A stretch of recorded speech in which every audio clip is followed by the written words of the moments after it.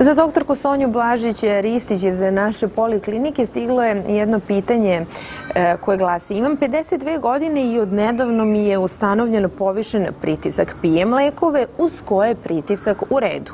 Pitanje je da li smem da treniram kao i ranije. Za osobe sa povišenim pritiskom jako je važno da redovno treniraju, jer to je mera zdravlja, pa kao i lek mora redovno da se upražnjava. I nije isto sporadična fizička aktivnost i redovna fizička aktivnost. Ova druga, to je trening koji je poželjan i koji se preporučuje. Ali, na primjer, da osoba, pogotovo ako ima neku kardiovaskularnu diagnozu, jednom mesečno ode da igra futbal u trajanju od sat, sat i po, to nikako nije preporučljivo, zato što su te osobe pod rizikom od nekih neželjenih kardiovaskularnih događaja, da ne kažem od naprasne srčane smrti. E, svakako, gledalac koji je postavio pitanje trebalo bi da se obrati kardiologu. Mi smo ranije pacijentima govorili redovno šetajte.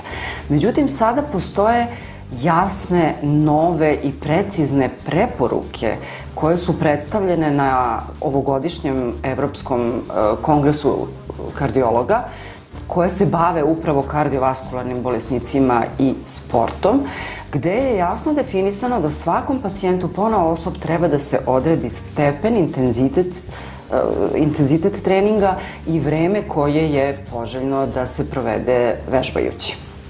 Tako da, uh, kardiološki pregled je poželjan, zatim ultrazvuk srca kojim bi se isključilo eventualno strukturno obolenje srca i sledeća diagnostička mera je test opterećenja, test fizičkim opterećenjem. Naravno, ukoliko zaista taj pacijent ima dobro regulisan pritisak. No, često se dešava da, iako navodno ima dobro regulisan pritisak, na testu dođe do hipertenzivne reakcije, skoka pritiska na 220 mm živinog stuba i to je apsolutno dokaz da ta hipertenzija nije dobro regulisana i da treba e, e, korigovati terapiju. Međutim, ukoliko do toga ne dođe, i ne dođe do nečega što mi zovemo inducibilna ishemija, znači ne dođe do pojave bola u grudnom košu, ne dođe do pojave promena u EKG zapisu koje slute na neko suženje na krvnom sudu, takva osoba treba da trenira i može da trenira.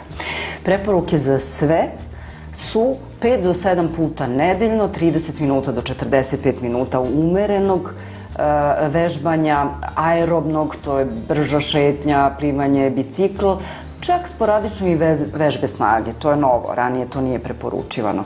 I to je bezbedno za svakoga. A osoba sa dobro regulisanom hipertenzijom koja uradi dobro test opterećenja može intenzivnije da trenira.